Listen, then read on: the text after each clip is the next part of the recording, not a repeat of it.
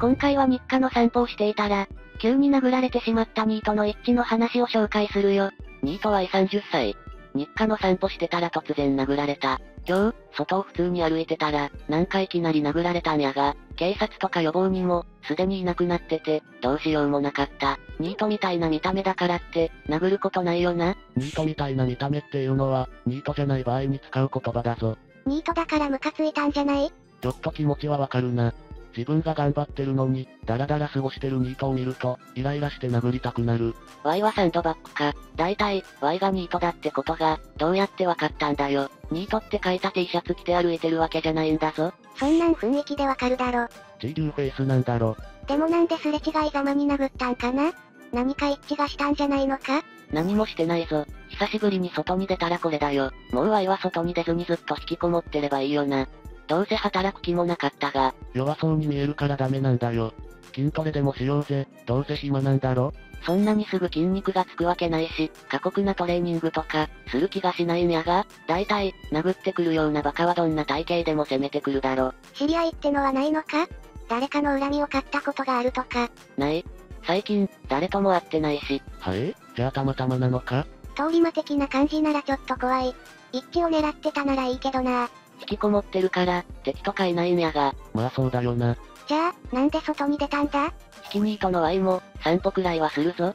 ちょっとその辺、歩いてただけなんや。買い物とかは、人と会話するから嫌で、本当にただ歩いてただけなんだけどな。ニートは人権がなくて、歩くのもダメってことか？働いていないんだろうし、引きこもってれば、そいつと会うこともないだろうな。外に出るだけで殴られるってどれだけ嫌われる顔してんだよ。どんな顔か見たいから浮く。一致みたいなニートって、何のために生きてるの？他人のサンドバッグとして役に立てるなら、まあそれもええんじゃないのか？痛かった怪我した多分あざになる気がする。病院行って、診断書もらったとしても、相手の特定ができないしな。鼻血も出たけど、今はもう痛みとかはない。なんだかんだで手加減はしてそう。ガチで殴ったら一致なんてひとたまりもないもんな。ニート丸して捕まってもなんか残念な感じやし。情けないから強くなろうとか一致にそういう感情はないのか？まあないよな。散歩っていつも同じ時間？もしかして、いつも一致についてムカついていたのかも。やることもないし、確かに毎回、同じくらいの時間だな。でも、そいつとすれ違ったのは初めてな気がする。まあ、いつも人の顔じろじろ見て歩いてないけど。殴られたのは昼間？それとも夕方？夜？夕方過ぎの、人通りの少ない時間帯。だから、Y がニートだとかわからなかったと思うんだよな。借金してたりする？相手の目的はただの気晴らしかな借金なんてしてないし、特にそういうつながりもない。結局、理由も何もわからないのか。じゃあどうしようもないな。これからエッチが外出のたびにハラハラすると思うとくさ。確かに、一回あったってことは、もう一度あるかもだよな。いいぞ、もっとやれ。一般人が狙われるのは怖いけど、ニートならいいかもしれん。ニートだから狙ったとは限らんだろ。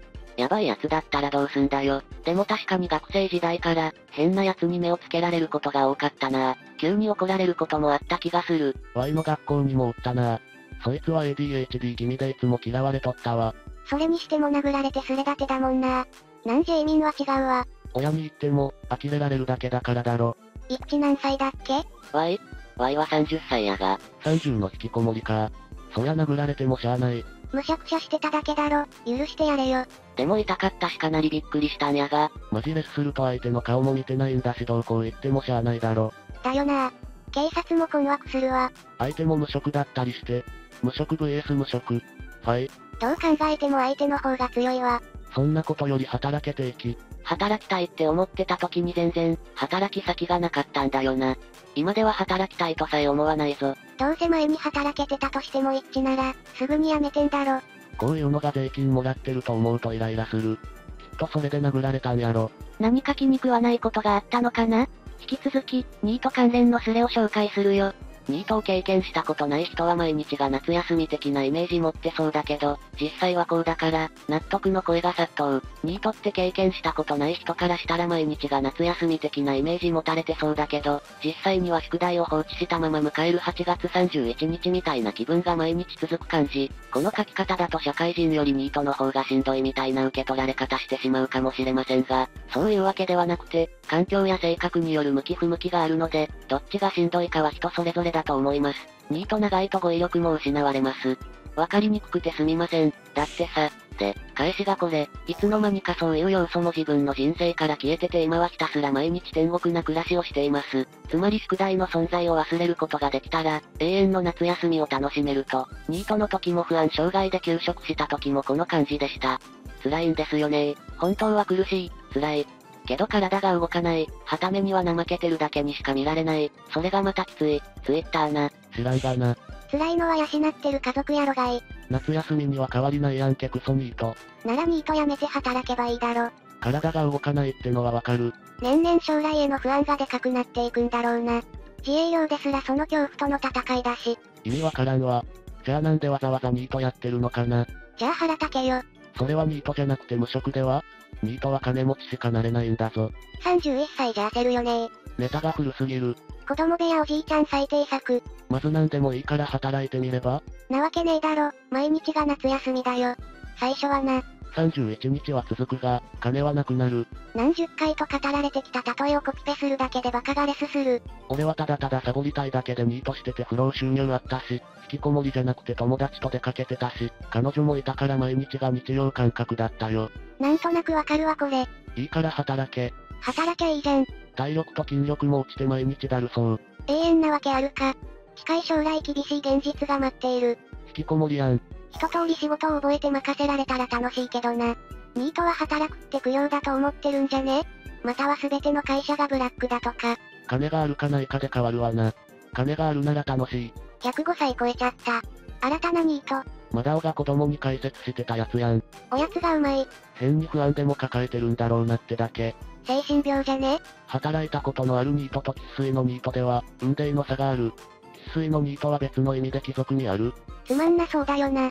仕事の向こう側まで行くと仮芸にも近い面白さがあるのに。どうでもいいから働けや。ニートの金ってお小遣いなの？お小遣いなら、月にいくらもらってるのかな？バイトしろよ。どのルートでニートになったかによるな。学生時代からの引きこもりを経てのニート、高学歴なのに自分に合う仕事が的な理由でニート、単純に仕事辞めて転職活動めんどくさくってニートとかニートごとに理由は違う。働かないと生活できないから働いてるだけ。働かなくていいなら楽でしかない。1億円当たらねえかな甘えだろ。襟好みしなければ仕事はいくらでもあるのに。意味わかんねえよ。年金の親からもらってるんだよ。はい嘘。ニートやってたけど毎日夏休みやぞ。もらってるならまだいい方じゃね？親のカード勝手に使ってるってパターンがあるかと。それを辛いと思うなら、今すぐ宿題やれば？4年前の VIP のネタの丸パクリするクズとそれに感心するアホの群れ。ニートは毎日夏休みとは言われるが実際には宿題を放置したまま迎える8月31日みたいな気分が毎日続く。Twitter で VIP ネタをパクられるのはムカつくな。ニートもニートで毎日将来のことで悩んだり、精神的に大変なんだよな。まあなったことない奴には一生理解できないだろうけど、社会で生きていくことを諦めたニートは無敵だが、社会復帰を諦められないニートは精神的にはめちゃ辛いぞ。ソースはワイヤ。一日経つのが遅くて早いという意味わからん感じ方になるで。無職期間中は、まさに学校で一人だけ宿題や忘れ物したり、移動教室の場所が全くわからず取り残されて焦るシーンの夢をやたら見た。現実ではしたことがなかったのに、就職すると全く見なくなった。俺は仕事させてもらえなくて嫌すぎてニートになったな趣味が仕事ってのもあってニート期間中に好きにやってたら声かけられて仕事になった。なら働けよ。何が辛いだよバカなのか？半年ぐらいニートやったけど、何にも縛られることなくて天国やったわ。寝る前が一番きつい。で、上位職種、引きこもりの中高年にクラスチェンジするわけか。まああれなんだよ。何もないと何もないことがきつくなるっていうそういう話なんだよ。これはニートの話だけど、何不自由のない社長の令状とかもそんな感じよ。前いた会社にそういうのがいたんだけど、毎日すんげーしかめっ面して、かわいそうな職場のおじさんを毎日丸めてたんだよ。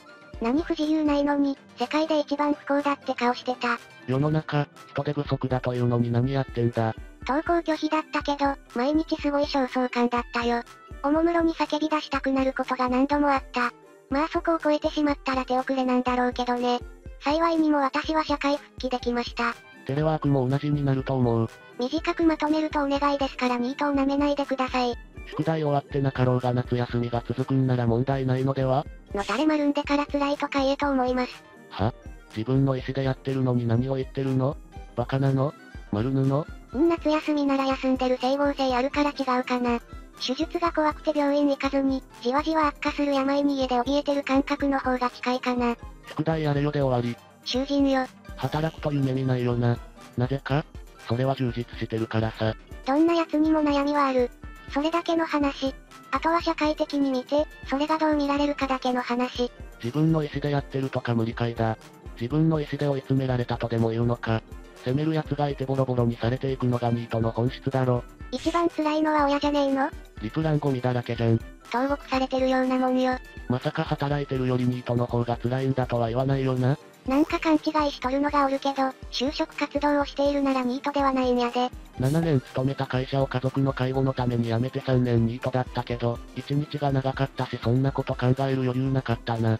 3年ニートだったけど面接受けたところは全部受かったから、大手企業以外はそんなに空白期間気にしてないのかねやることがないと逆にそうなるんで、なんかゴミ拾いとかしたらどうだろうか？社会に貢献できて気分がいいのでは？そんな不安抱えながらニートしないだろ。そろそろ、ニート65歳、年金なし、親90歳、丸にそう。という人が出てこないのかな？宿題やらないでずっと遊んでるんだから8月31日気分なのは当たり前だろ。自分の意思だよ。辛いなら、ニートやめろよ。ニートの方が楽だからやってんだから。ニートが辛いアピールでマウント取るようになるとはね。ニート55歳。丸んだ親を年金目当てで丸太生きってニュースが毎月流れてるじゃん。病気だと思う。精神病院行けよ。とっくに出てきて問題化してる定期。丸沼で暮らせる金があや気楽なもんだけどそんなニートはほとんどいねえからな。毎日が不安だよ。実際時間だけある感じだもんな。一生困らないほど金あれば毎日が夏休み的な感じになるんだろうけど、だから働けよ。ニートの方が楽だからニートやってんだろ。ニートに働け働けって価値観からしておかしい。民主主義の国で自由がどうとか言ってるのに社会主義なんだもの。日本人は陰湿だから働きたくない気持ちはわかる。ニートはうつ以上の甘え。バイトでもいいからまずはとりあえず働けばいいやん。それニートであってニートじゃなくね？いやよくわかるわ。常にこのままじゃやべえという焦燥を心の片隅に背負いながら消化不良の日々を送る毎日なんだよな。働いてるけどニートの方が楽なわけないじゃん。経験したからすごくわかる。ニートは楽なんてもんじゃないひたすら地獄。働いた方が楽に決まってるし羨ましいとも思わん。ニートだって働いてない不安やストレスで、社会人より大変なんだよ。働いてる方が楽で働いてるならいいじゃん。ニートの方が辛いならお前みたいに働けばいいだけ。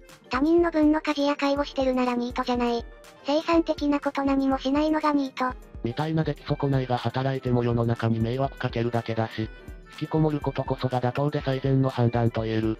どうせ今更働いても他の奴に追いつくことはできないし、そのせいで変にマウントを取られるのは丸ぬほど嫌だしな。俺、ニートに向いてるかも。早くニートになりたいな。憲法に勤労の権利と義務の両方が書かれてる。